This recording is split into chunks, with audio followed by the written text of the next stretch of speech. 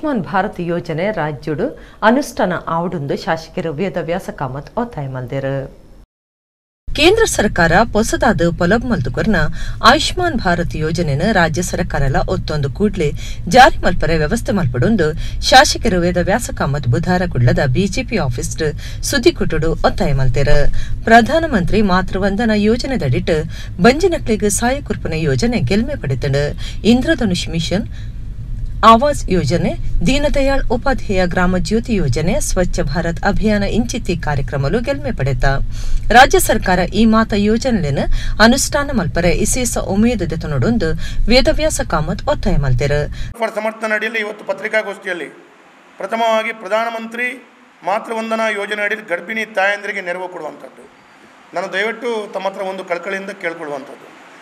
ಇದರಲ್ಲಿ ಎಲ್ಲ ಮಾಹಿತಿಗಳನ್ನು ಮತ್ತು ಯಾವ ರೀತಿಯಲ್ಲಿ ಫಲಾನುಭವಿಗಳು ಇಲ್ಲ ಜನರು ಇದರ ಸಹಕಾರಗಳನ್ನು, ಸದುಪಯೋಗಗಳನ್ನು ಮಾಡ್ಕೊಳ್ಬೋದು ಅಂತ ಹೇಳಿದು ಕೂಡ ನಾನು ಮಾಹಿತಿಗಳನ್ನು ಕೊಟ್ಟಿದ್ದೇನೆ. ದಯವಿಟ್ಟು ಅದೇ ರೀತಿಯಲ್ಲಿ ತಾವು ಹಾಕ್ಕೊಂಡು ಮುಂದಿನ ದಿನಗಳಲ್ಲಿ ಎಲ್ರಿಗೂ ಕೂಡ ಇದರ ಪ್ರಯೋಜನ ಸಿಗುವಾಗ ಮಾಡಬೇಕು ಅಂತ ಹೇಳುವಂಥದ್ದು ನನ್ನ ವಿಶೇಷವಾಗಿ ನಿಮ್ಮ ಹತ್ರ ಮನವಿ.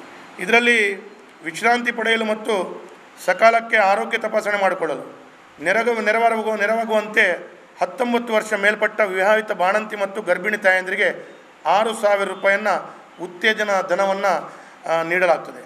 ಈ ಯೋಜನೆ ಒಂದು ಒಂದು ಎರಡು ಸಾವಿರದ ಹದಿನೇಳು. ಇದರಿಂದ ಪ್ರಾರಂಭವಾಗಿ ಅವರಿಗೆ ಪೌಷ್ಟಿಕ ಆಹಾರ ಲಸಿಕೆ ಮತ್ತು ಆಸ್ಪತ್ರೆಯ ಖರ್ಚು ವೆಚ್ಚಗಳನ್ನು ಈ ಯೋಜನೆ ಮುಖಾಂತರ ಭರಿಸುವಂಥ ಭರಿಸಲು ಸಹಕಾರಿಯಾಗಿದೆ.